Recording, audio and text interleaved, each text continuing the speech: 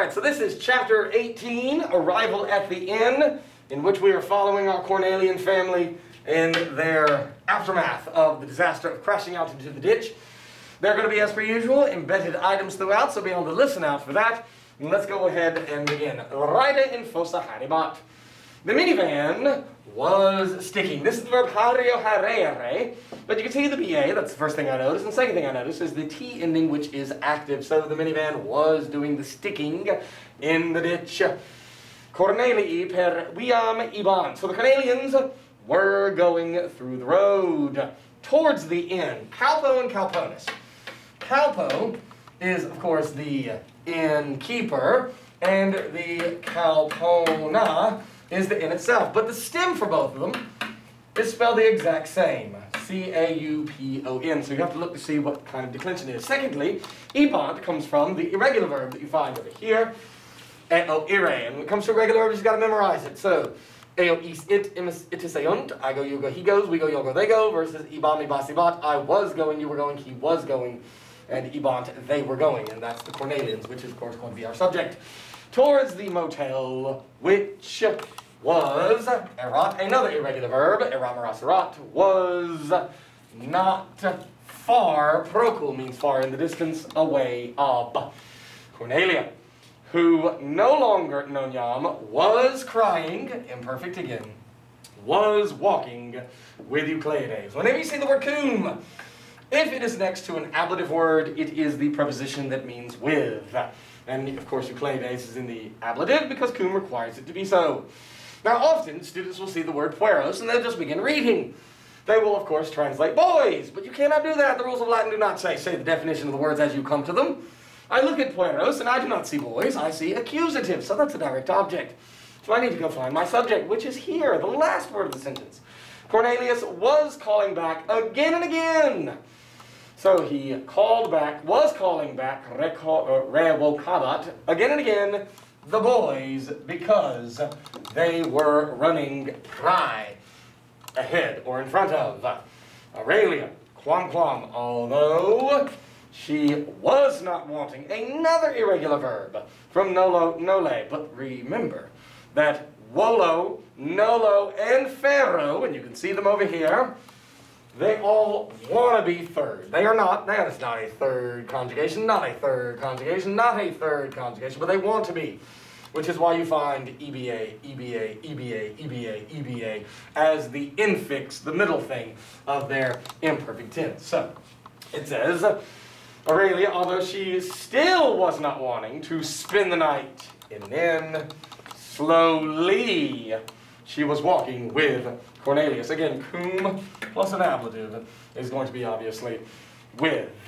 And your first word that you're going to be inputting is ibat, I-B-A-T. Spell it correctly. And uh, there it is that you'll be putting in for the easy 100. Soon they were approaching towards the inn, the motel. First declension. They saw. They were seeing widia widere weedy weesus. They saw, they were seeing nobody. Name and.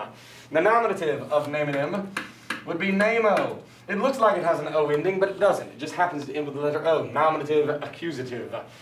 However, they were hearing, they heard the voices of men. Hominum is from the word homo. It is, of course, where we get the word homo sapiens, is what we are, human. And here it would be homo, hominis, homini, hominem, homine, homines, hominum which is what we see there in the genitive plural. It is not accusative, but genitive plural. Suddenly, subito, two dogs hurl themselves. Now, the word say can mean himself, herself, itself, or themselves. How do you know which one it means? You look at the subject. It's what we call a reflexive pronoun, and it reflects back onto the subject. So, since we're talking about dogs, dogs verb themselves. If it were Marcus, Marcus verbs himself. If it were Cornelia, Cornelia verbs herself. The word say would not change, but you know what it means because you look at the subject. Suddenly, two dogs hurl themselves out of the door, a Yanua of the motel. And they barking. Latrantes. We saw this first in chapter 7. A word like it. Laborantes. In which It is from a verb, but it is an adjective. We call these participles. And they would all look in the following way. It would have ns, just like Walanes, Clemanes. Here in the case, it would be latrans. But then it would have latrantis, latranti. So just like it's Clemanes, Clementis, Walanes, Walentis, Amanes, Amentis, it would be whatever ns, in this case latrans or laborans, laborantis. And here we can see, obviously, the dogs latrantes. And it is what we call a present active participle translated to verbing. And barking, this is describing what kind of dogs, and barking ferociously, they seek, they look for, they attack, and this verb even mean pedo petere, the Cornelians. Note here as well, you've got lente. One of the ways in which, obviously, you can make an adverb in Latin is to take the adjective, take the ending off and add a long e. The other way is what we see here. You do the same thing, but instead you add an e here. In English, to make an adjective to an adverb, we just add an ly. Your second word is latrantes. L-A-T-R-A-N-T-E-S. It's the mm, participle modifying canes. Immediately, Sextus runs away. We've seen him in this sort of situation before. He's a scaredy cat. Marcus stands motionless. This is not the word statim, but the word stat from sto stare, steady status, to stand. Immobilis, modify Marcus.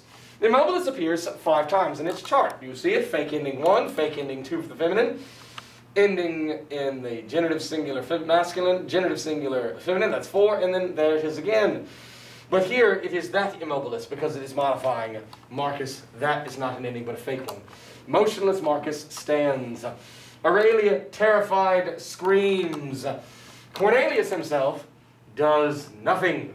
So we have a combination of tricolon crescens, and you have alliteration. Statum, fugit sextus, statum obolus marcus, aurelia paterica marta.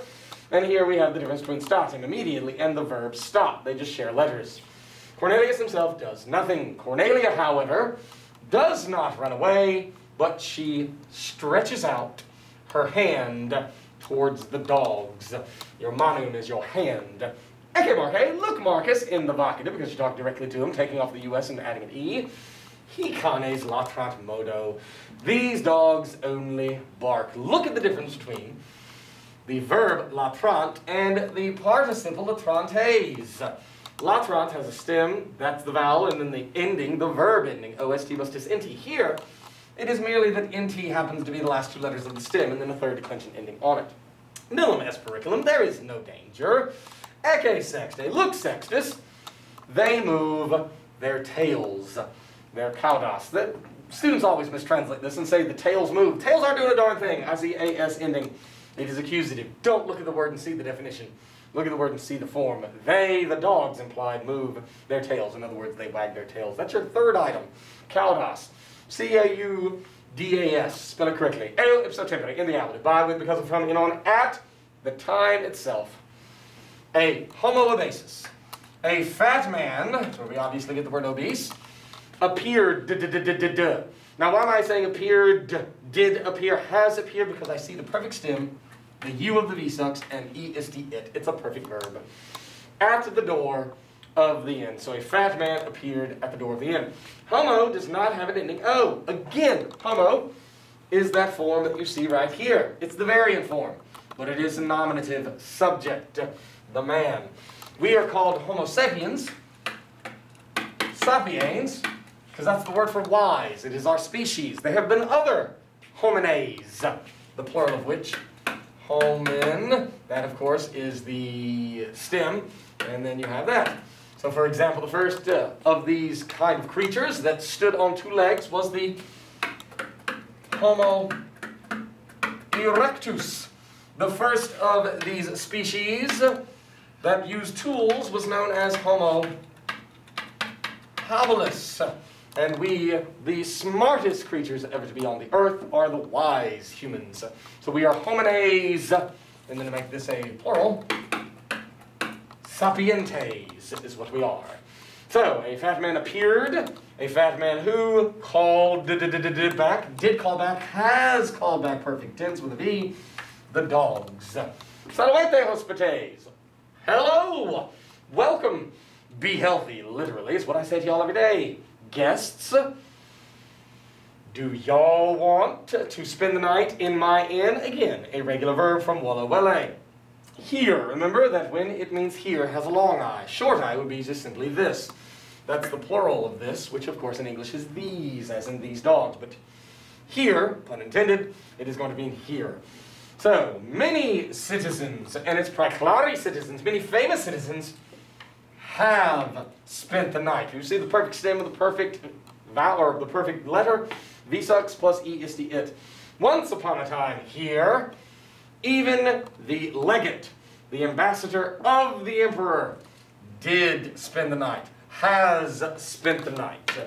So he is obviously trying to entice these Cornelians. He recognizes them immediately by their clothing. They're wearing, the boys and the father, the tunica laticlavia. Their toga does not give them away, but that tunica with the purple stripes does. Salve mi Apollodore. Hello, my Apollodorus. Remember the word? Me is vocative from meus.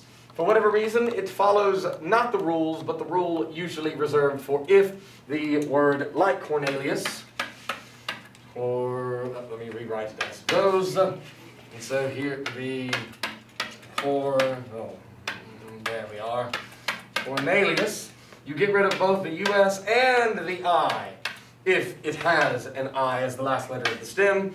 And for its vocative, what you would then do, taking off both the US and that I, you replace it with an I. Well, here you do the same thing. You do take off the US and the E. And then, of course, the vocative then becomes me, and that's what you see there. Modifying Apollodore, which all you have to do there was simply take off the US and add the E that you normally do for the vocative. So, hello, my Apollodores. Euclides interrupted, did, did, did, did interrupt, has interrupted. The V sucks plus the E is the it for the perfect tense. Verbed, did verb, has verbed.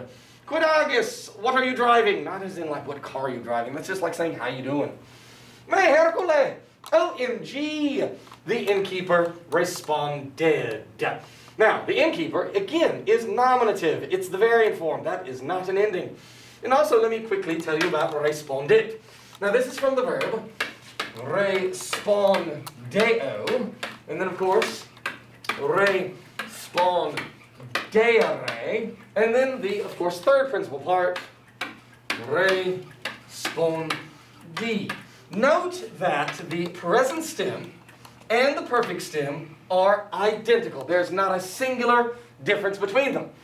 And so here, to create a present verb, this is second conjugation, so that long E is the vowel.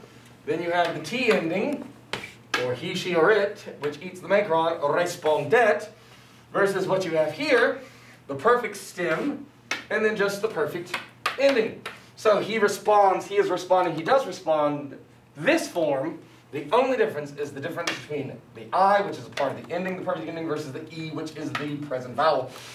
Responds, responded. So the innkeeper responded. Nisi ero, unless I am mistaken. And so in this way, Nisi means if not or unless. Unless literally in English means if not. Unless I make a mistake. If I do not make a mistake, I recognize agnoscere, my friend Euclides. Remember, this is an inceptive verb because when we recognize something, it's an instantaneous action that cannot continue. No, Naras, you do not make a mistake. You do not err, E-R-R. Your fourth word, by the way, is right here in line 16, Nisi, N-I-S-I. Euclides says, I see you, I, the happy one. In English, we want to say, I happily see you, or I am happy to see you, but that's not what Latin says. You take the subject and you modify it with the adjective. Because the minivan of my genitive master sticks in the ditch, motionless, describing minivan, so that is a fake ending nominative that you see there. It is necessary to spend the night here in the motel. Dolio. I am sad. Dolio dolere, to be doleful. If you're sad with someone, You give them your condolences. The innkeeper says, again nominative, I am sad because the minivan is in the ditch, but I rejoice, I am glad, Gaudeo, because y'all are coming now ad meam calponum to my motel. Entrate, entrate, omnes, enter, enter, all. Your fifth and final word is caupo, C-A-U-P-O, in the nominative. So good luck in studying. Fill in those things at that free 100 and do well on the multiple choice and the vocabulary. Thanks.